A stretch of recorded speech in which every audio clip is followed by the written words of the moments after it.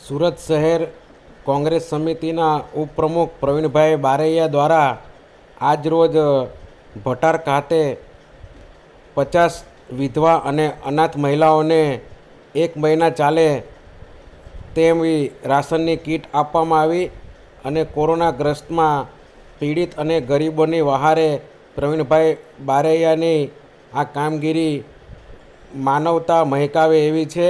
આપ જોઈ રહ્યા છો fan of Bahujan news channel. ચેનલને સબસ્ક્રાઈબ કરો, શેર કરો અને લાઈક કરો.